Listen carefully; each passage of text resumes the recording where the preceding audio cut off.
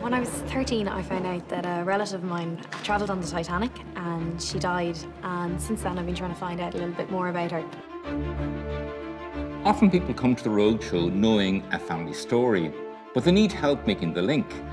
Louise Fahony from Limerick, Ireland is one. She grew up listening to her mother tell of her great aunt tragically losing her life on the Titanic.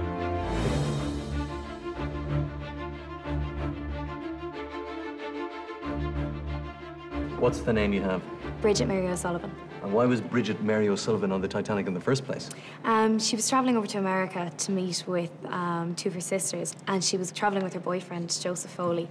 And um, so she was the same age as I am at the moment when she was on the way over there, and unfortunately, she never made it. It's kind of a heartbreaking story. Bridget and Joseph came from humble backgrounds. The 1911 census of Ireland reveals that 20 year old Bridget O'Sullivan worked as a domestic servant at Hernsbrook Estate in rural Limerick, owned by the Anglo Irish family, the Lloyd Aherns.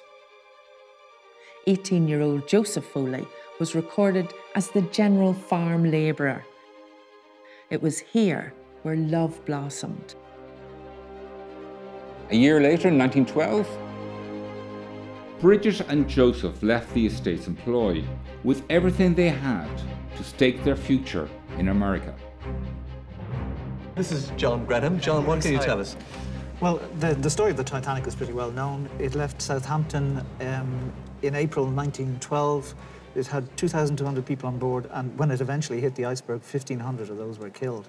Its last port of call before it got out into the Atlantic was Queenstown, as it was known then, now Cobh. Almost 120 Irish people got on board. Like your grandaunt, most of them would have been migrants going to New York, um, seeking a better life.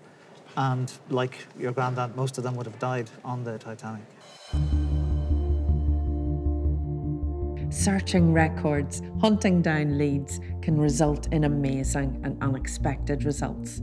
This is what we love doing solving the mystery, making the link, and bringing the story alive. Um, well, we found out something very specific. Apparently, after it struck the iceberg as it was sinking, she was seen with Joseph Foley almost at the boat deck, almost up at the top. And apparently, she decided she had to go back and get her handbag. And of course, Joseph Foley had to go back with her. and that was the last anybody ever saw of them. Oh, dear. So it's such an ordinary thing. It's happened to everybody. It's happened to everybody's boyfriend and husband as well. And it, that's it. That cost them both their lives. Yeah. Whatever was in that handbag was obviously terribly important to them if they thought they were going to make it to the new world. Yeah. And whatever savings they had was probably in Yeah. that bag, you know? Okay, no, no. Isn't that the uh, sad thing? It is, yeah. Like many Irish people before them, Bridget had family already in the USA and was to look them up on arrival. In her case, Aunt Nellie O'Sullivan, who lived in New York City. We also found something else that you, you might not be aware of. And we traced her sister Nellie in New York. She married a man called Richard Godsoe from Cork, and they moved out to Montana, um, out to a place called Deer Lodge near Yellowstone Park. this is the kind of lead we love to find to bring the story forward. And um, we found here uh, a picture of Nellie.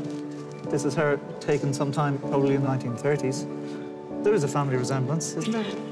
And here's her, her husband, Richard Godsell, an in-law of yours. Yeah. as it were. Okay. Nice to meet him. It's great to add value to what people may know about their family and connect them to relatives. One of their daughters, Mary, married a man called Sewell and set up a shop in Deer Lodge in Montana. And we have a picture of that here now. In the 1950s, you can see there's Sewell's food stores. And not only that, we've managed to trace the family down to the present day. It's And you can- fantastic. so there is a, a connection again via Bridget back Yeah. to the to her family in the New World. And just out of curiosity, did they know this story? No. No, they had no, No. idea either. My No. goodness gracious me. So I see that the two ends will meet at Yeah, last. that's brilliant because it just it makes it makes it more real. Yeah. It's always a thrill to help solve family mysteries. It means so much to people and touches on our nation's history. With Ancestry's help and searching public records, flipping the angle of the investigation to solve the mystery, find the missing link, and prove the claim. And so, will you contact them now when we give you the details? Yeah, you think? definitely. Because um, since I found out, since I, was, since I was 13, and I found out her name and you know even how much she had paid for her ticket, I was always dying to find out more. So it's, it's brilliant that there is actually there is actually a link behind it, and there's a person now behind the story. I didn't really know how much the experts could could actually tell me about it, other than maybe her sister's names or something like that. So it's, it's fantastic that they were able to trace it and put me in touch with a real living person.